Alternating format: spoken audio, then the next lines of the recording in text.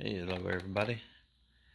Today I want to do a real quick video uh, on the wheelie control, which um, if you look, there's nothing that says wheelie control, but I'm going to show you how to cut it off.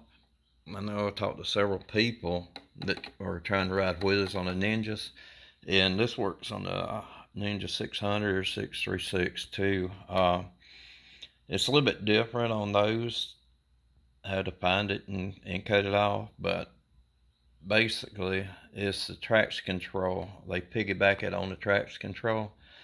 So I'm going to show you on this um, how to cut it off on the ZX10 RS 2018, but I think they're all about 17, 18, 19, 20 is all the same.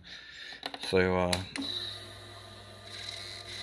you turn it on and right there's your traction control at uh, SKTRC1 that's the mo uh, least aggressive traction control. You can still ride a little bit of wheelie to pull it up maybe about a foot and hold it there.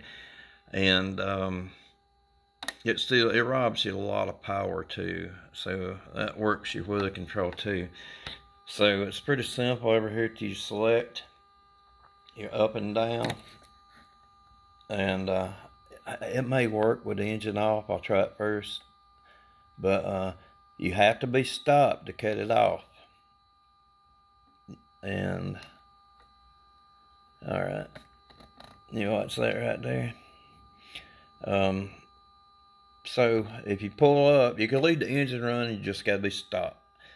So if you're getting ready to hit the one rock wheelers or whatever, you know, just pull up, go over there to your select, hit the up button. Alright, it cuts it off. And there will let you ride the heck out of wheels, but be careful, you'll loop it. If you got a lot of power, you may, may even smoke the tire coming out of a corner. Uh, just turn it back on, just push your down select. Then you one, two, three, four, and five on your traction control, and you shouldn't be able to ride a wheel at all of that, and uh, that's mainly for wet. So just come over here.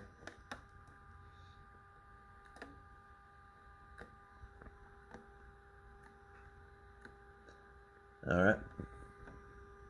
It defaults back to one anytime you cut the engine off. So uh, you turn your switch on. Hit the air up. That's your traction control off. That's your wheel control. So, hopefully that help you out a little bit. That up button cuts that off. All right, YouTube. Peace out.